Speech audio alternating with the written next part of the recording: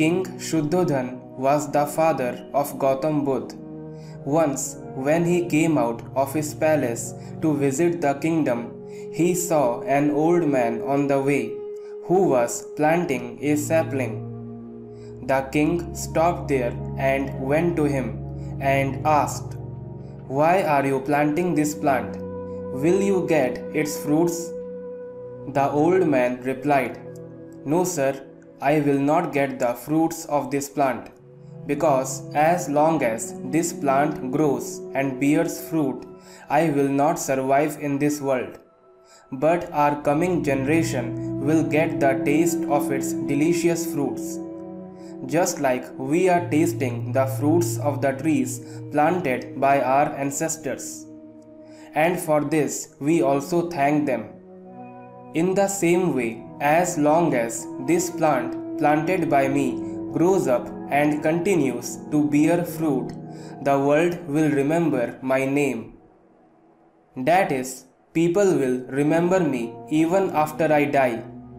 And anyway, man does not bring anything to this world, nor does he take anything from here after death.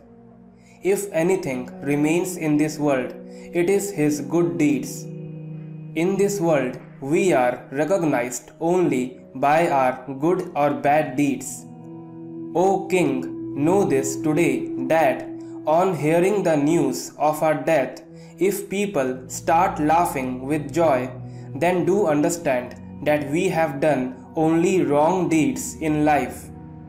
And if people start weeping with grief after hearing the news of our death, and call our name with love, then do understand that we have done some noble deeds in our life. And as long as they are alive, they will continue to taste the fruits of our noble deeds.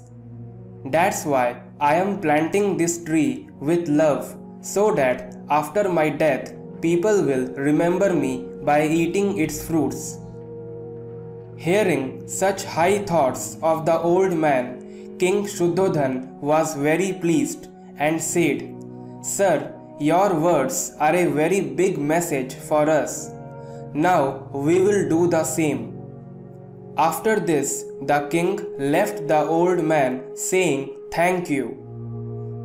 My dear brothers and sisters, the message for you do good deeds throughout your life and make your name immortal.